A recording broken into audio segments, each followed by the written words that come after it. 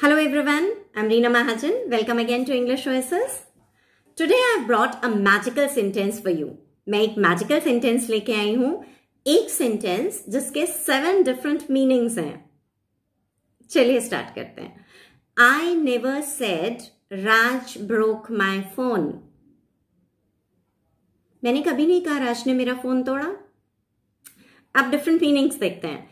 सिर्फ़ I will stress on one word और accent की पार, एक वर्ड के ऊपर स्ट्रेस करने की पार आपको पता चलेगी। See I never said Raj my phone मैंने नहीं कहा। किसी और ने कहा होगा? I never said Raj my phone मैंने कभी भी नहीं कहा। राज ने मेरा फ़ोन तोड़ा। I never said Raj my phone मैंने कभी कहा ही नहीं। मैंने तो लिख के दिया था। राज ने मेरा फ़ोन तोड़ा। Okay I never said Raj broke my phone मैंने कभी नहीं कहा राज ने मेरा फ़ोन तोड़ा। किसी और ने तोड़ा होगा।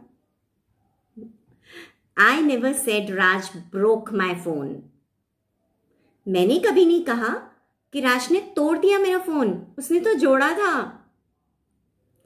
Next I never said Raj broke my phone मैंने कभी नहीं कहा राज ने मेरा फ़ोन तोड़ा। किसी और क्या तोड़ा था।